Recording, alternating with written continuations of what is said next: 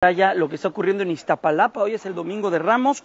Esta webcam de México se encuentra apuntando directamente hacia ese sitio. Empiezan ya las celebraciones y todas las actividades alrededor de la Semana Santa. El día de hoy, domingo de Ramos, viene importante también una semana donde hay mucha actividad de los ocho barrios en esa zona de la capital de la República Mexicana. Cintia Dávalos nos platicaba hace unos minutos de todo lo que va a estar también imperando alrededor de los protocolos, todos los eh, programas de la Secretaría de Seguridad Ciudadana, el acompañamiento de la propia alcaldía, todo eso va a estar sucediendo a lo largo de las siguientes, de las siguientes horas, de las siguientes, de los siguientes días allá en eh, Iztapalapa, en el oriente de la capital de la República Mexicana.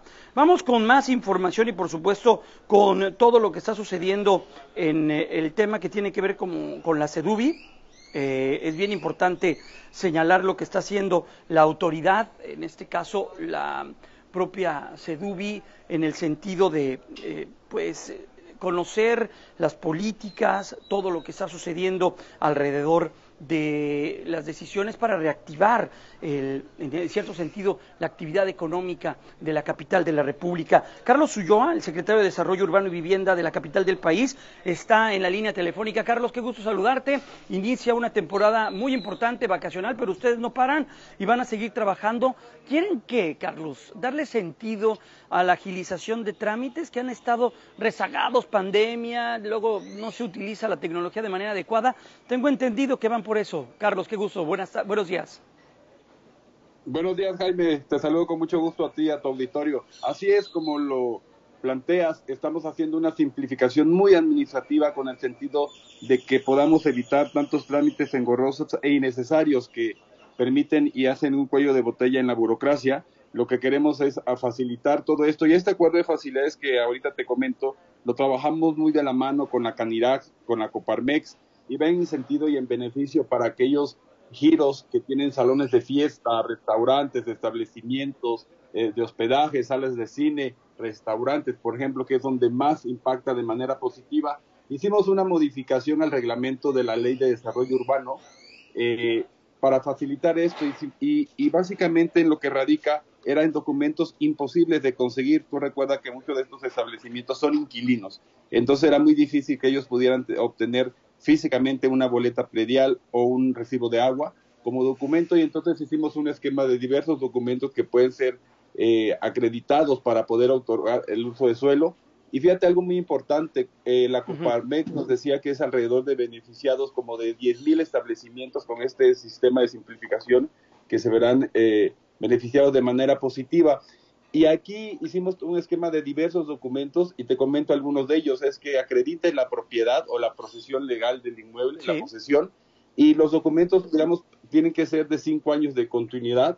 Hazte cuenta que tienen que estar ejerciendo ese mismo giro durante cinco años y lo pueden comprobar con la licencia sanitaria, la licencia ambiental única, la licencia o manifestación de construcción, aviso de terminación de obra o la autorización de uso y ocupación del espacio licencias de funcionamiento, escrituras, copias de contrato, todos estos documentos que garanticen que tienen una continuidad de cinco años, yo creo que eso es más que suficiente, entre otros documentos, incluso fotografías del antes y del después. Y pues eso le da una certeza jurídica al establecimiento.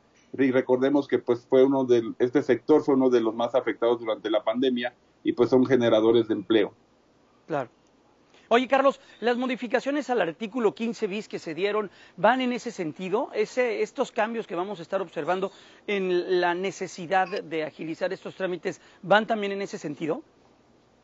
Exacto, van en ese sentido. Esta modificación del 15 bis al reglamento es lo que hace una simplificación administrativa para otorgarlo. Y algo muy importante, lo pueden hacer de manera presencial o lo pueden hacer de manera digital. Y tiene un costo de 1.822 pesos y no tienen que actualizarlo cada año, si nada más pagan cada año y se refrenda el mismo uso de suelo. Así que hay otra cosa también que no es transferible, quiere, eso quiere decir que es únicamente para la persona que lo tramitó y en el momento que deje de operar como tal por el giro que fue autorizado, volverán a tramitar la persona siguiente ese, ese uso de suelo. Otro, otro de los grandes temas que estás abordando y que la jefa de gobierno, Claudia Sheinbaum, ha estado también muy atenta, son a los asentamientos irregulares.